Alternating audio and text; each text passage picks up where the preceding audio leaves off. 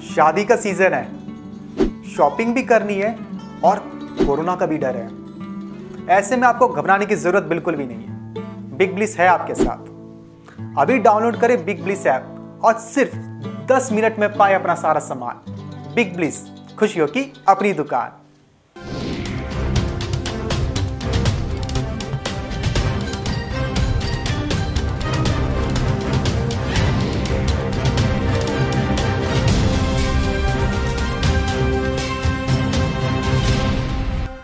भारत ने मई में पाम तेल के आयात में तैंतीस दशमलव दो शून्य फ़ीसदी की कटौती की है, जिससे मई में पाम तेल के आयात का आंकड़ा गिरकर पाँच लाख चौदह हज़ार बाईस टन हो गया है। लेकिन इस दौरान आरबीडी पामोलिन तेल के आयात में इजाफा किया गया है। Industry body solvent extractors association की माने तो भारत दुनिया का सबसे ज़्यादा वेजिटेबल ऑयल आयात करने वाला देश है। भारत ने मई 2021 में सात लाख उनहत्तर हज़ार छः सौ दो टन पाम तेल का आयात किया था। भारत का कुल वेजिटेबल ऑयल आयात इस साल मई में घटकर दस लाख पाँच हज़ार पाँच सौ सैंतालीस टन हो गया है, जो एक की साल पहले बारह लाख तेरह हज़ार एक सौ बयालीस टन हुआ करता था। बता दें कि भारत कुल वेजिटेबल ऑयल आयात का करीब 50 फ़ीसदी पाम तेल से आपूर्ति करता है। वहीं सी की रिपोर्ट के मुताबिक इंडोनेशिया ने 23 मई को कुछ शर्तों के साथ पाम तेल के निर्यात से प्रतिबंध हटा दिया। साथ ही पाम तेल के निर्यात पर लगने वाले टैक्स को भी कम कर दिया है।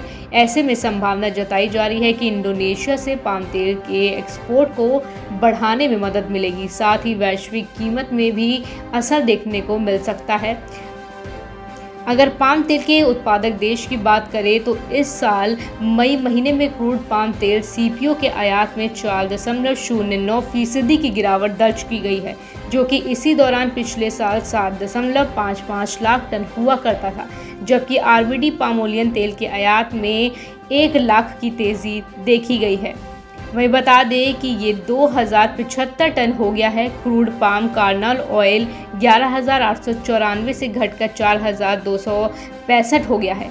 अगर सॉफ्ट ऑयल की बात की जाए तो सोयाबीन तेल का आयात इस साल मई में तीन दशमलव सात तीन टन बढ़ गया है, जो कि एक साल पहले तक दो दशमलव छः सात लाख टन हुआ करता था। इसी तरह सनफ्लावर ऑयल तेल का आयात इस साल मई में घटकर एक दशमलव एक आठ लाख टन हो गया है, जो एक साल पहले इस दौरान एक दशमलव सात पाँच लाख टन था।